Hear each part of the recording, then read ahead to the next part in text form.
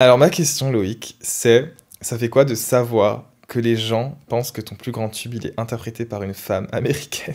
Yes, with your million eyes, you me. You talk behind my back, you spy on me. Ah euh...